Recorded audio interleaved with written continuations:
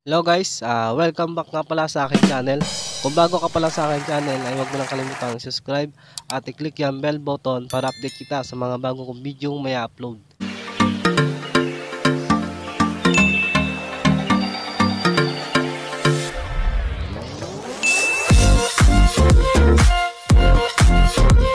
So ngayon po, ah i-update ko po kayo dun sa inispira nating ah, pamatay damo sa bakante naming lote.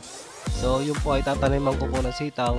So kung gusto niyo po panoorin ay hanapin niyo lang po ang video na to or makikita niyo sa aking taas.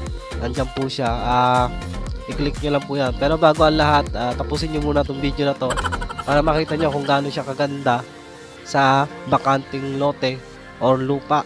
So sa mga bagong nagsasalang o nagsasalang sila ng lupa, pwede niyo tong i-spray. So lahat ng damo ah, sigurado patay dito. So ito lang po ang aming pompisa. Ang kagandahan pa dito guys pag ni-spray nyo ay lalabo pa yung lupa once na araruhin na natin to o tatanunan na natin ng ating mga gulay. So yun na nga guys, uh, papakita ko sa inyo kung gaano nga ba kalakas ah, ang ating inispirahan o ginamit na lason. So ngayon kasi andito ako sa may palaya namin na hindi ko pa ito natatabas, natatabas guys. So dito naman guys, ah, itatanim namin dito ay ah, pipino naman po. Ah, Ambassador F1. So abangan nyo guys yung pagtatanim namin doon or hanggang sa paglaki para mapakita ko sa inyo kung anong ginagamit namin na magandang lason. At guys, para mapakita namin dito yung tinatanim namin na klase ng pipino. So guys, ah, sana sundan nyo to channel na to para ma-update ko kayo. Lalo na dito sa inispira natin, ah, sasalang po natin sa sitawan yan. Ang tatanim naman po namin dyan ay Bulacan Red. So yun naman matibay talaga. Matibay sa ulan at hindi siya nagbabaltik. Hindi siya katulad ng Mariposa guys. So yung guys ay tatanim namin sitaw ay napakatibay sa ulan. So ganoon lang guys at tara punta natin. Papakita ko sa inyo yung talab na ng mamatay na mo namin in-spray. So tara!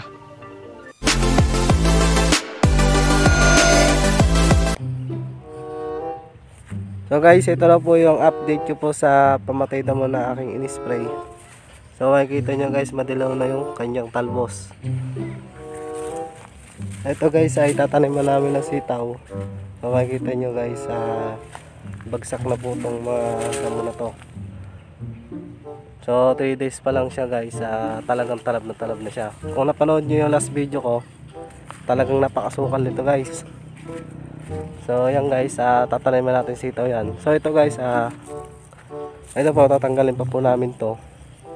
Para sa ganun po ay makahinga po yung or masikatan ng araw yung sitaw na itatanim namin.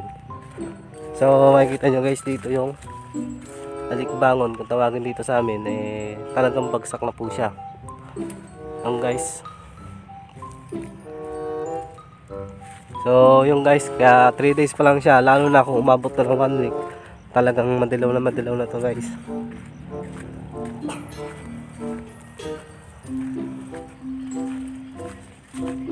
So kita nyo guys uh, madilaw na yung kanyang talbos. Ayan po ay yung walis-walisan.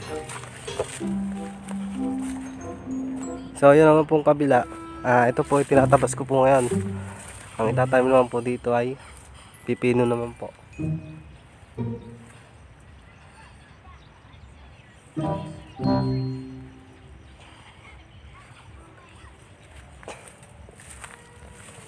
So guys, yung sinasabi ko pamatay, da, pamatay damo dito ay available po siya sa Shopee at Lazada po. So sana panoorin nyo rin yung first video ko para makita nyo doon kung gaano ang timpla ko sa aming sprayer. Kung gaano nga ba ang tamang timpla. So ayun na po guys. So ganoon na lang guys, ah abangan nyo rin sana yung update ko dito sa may inispray ko naman sa talong na pamatay damo. So makikita nyo guys, ah 2 days pa lang siya eh napakatalab na. Dilaw na dilaw na yung damo. So yung guys, makikita nyo 3 days pa lang yan.